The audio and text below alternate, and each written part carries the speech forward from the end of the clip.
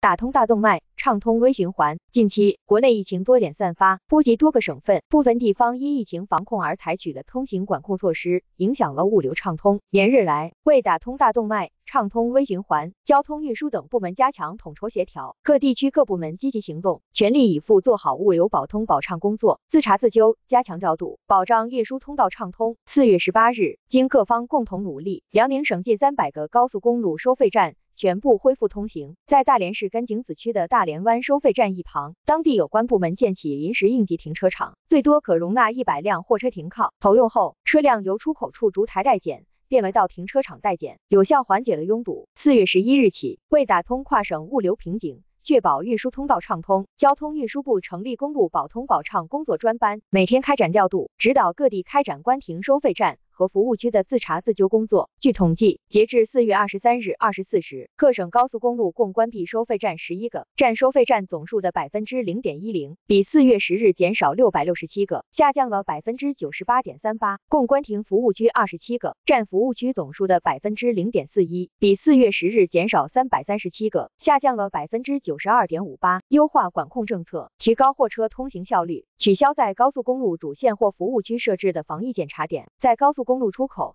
服务区等区域增设核酸检测点，强化路网运行监测，及时解决路网阻断堵塞问题。连日来，各地区各部门着力优化管控措施，让货车通行更高效、更顺畅。湖北省交通部门会同公安。卫健等部门调配增派工作人员近十万人，保障高速公路卡口交通秩序。各高速公路运营单位开足收费道口，对货运车辆开辟绿色通道，设立指引标志，方便其快速通行。江西省在高速公路服务区等区域设置抗原监测点一百八十余个，确保十五分钟内快速出结果。江苏省盐城市简化查验要求，持有通行证的农副产品运输车辆信息核对无误，司机现场抗原检测结果为阴性即可通行。启动中转站推广。通行证保障重点物资运输。四月十八日，长三角重要物资应急保供中转站正式投运。当天中午，一辆货车从上海嘉定安亭中转站驶出，经高速道口核验相关信息后，在交警引导下。抵达浙江杭州中转站，完成防疫环境消杀、装货及抗原核酸检测后，下午便返回上海，顺利完成货运交接。据了解，首批长三角重要物资中转站共有六个，目前已建成四个。在推动各地启用应急物资中转站，保障重点物资跨区域运输的同时，交通运输部还大力推广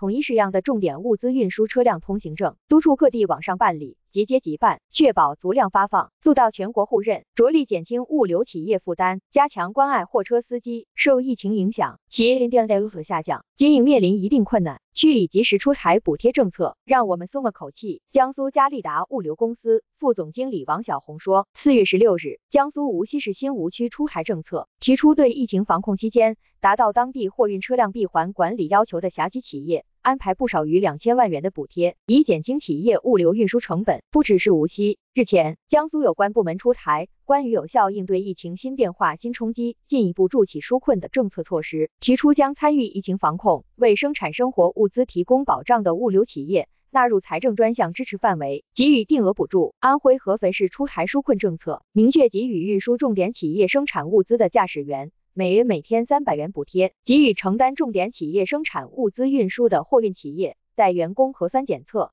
防护设施采购等方面。支出百分之三十的补贴，最高不超过十万元。为物流企业纾困解难的同时，各地有关部门还对货车司机加强关爱，保障其工作生活条件。福建省出台关爱货车司机保通畅十条措施，提出为来自中高风险地区的货车司机提供送餐、便捷式购物等服务。江苏常熟市为过往货车司机准备爱心包，发放矿泉水、面包等食品和口罩、消毒湿巾等防疫物品。中交投资运营管理有限公司在其所管辖的收费站。服务区向货车司机发放免费餐券，让司机吃上热乎可口的饭菜。